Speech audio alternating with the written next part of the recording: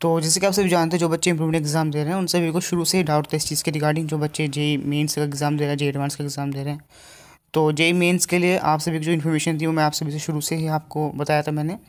और जे एडवांस के लिए पिछले साल का टू का अपलोड किया गया था तो इस साल आपको जो जे एडवांस होने वाले दो हज़ार बीस में तो उसके लिए आपकी इन्फॉर्मेशन आ चुकी है। इसमें आपको सब कुछ गिवन है, जो भी आपके एलिजिबिलिटी क्राइटेरिया है, आपका फ़ीस और आपका एडमिशन किस बेसिस पे होगा एग्ज़ाम का पैटर्न सब कुछ आपको मिल जाएगा जी एडवांस की ऑफिशियल वेबसाइट पे।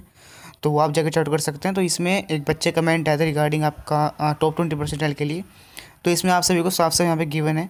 जो बच्चे इम्प्रूव एग्ज़ाम दे रहे हैं, उन सभी के लिए यहाँ पे आप देख सकते हैं। तो इन्होंने साफ़ इस चीज़ को क्या रखा है कि जो बच्चे इम्प्रूवड एग्ज़ाम दे रहे हैं, उनको, उनका टॉप ट्वेंटी ले जाएगा, फिर उनका सेवेंटी फाइव परसेंट लिया जाएगा। तो अगर आप यहाँ पे देखेंगे तो यहाँ पे गिवन है आप सभी को कि there four candidates appear for in board examination can either appear in one or more subjects and secure seventy five percent after improvement or appear for improvement in all subject to be in top twenty percent है यानी कि आप सभी जानते हैं, आप सभी को सेवेंटी फाइव परसेंट क्राइटेरिया पूरा करना पड़ता है।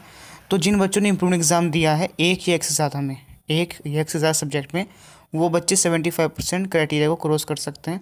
या फिर आप सभी अगर आपने पाँचों में एग्ज़ाम दिया तो आप टॉप ट्वेंटी में जा सकते हो। अब उसमें कमेंट आया बच्चे का कि क्या वो टॉप ट्वेंटी से जा सकते हो? तो बिल्कुल आप जा सकते हो। अगर आपके इंप्रूवमेंट एग्ज़ाम अगर आपने पाँचों में दिया है तो ही आप, जो है आपके टॉप ट्वेंटी परसेंट उसको उसको परस्यू कर सकते हो, यानी कि टॉप ट्वेंटी परसेंट से आप एडमिशन ले सकते हो आई में।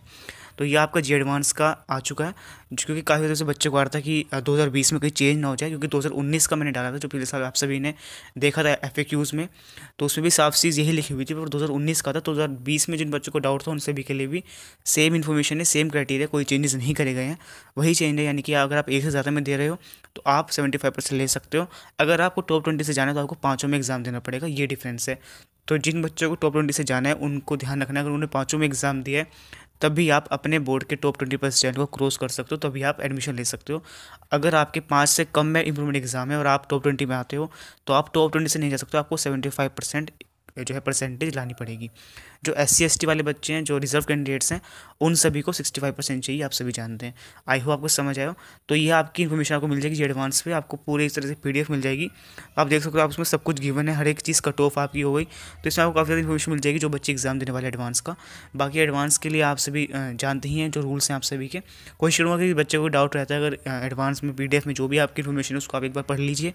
कोई डाउट होता है, कोई इन्फॉर्मेशन रहती है तो आप सभी को अपडेट करूँगा। Thank you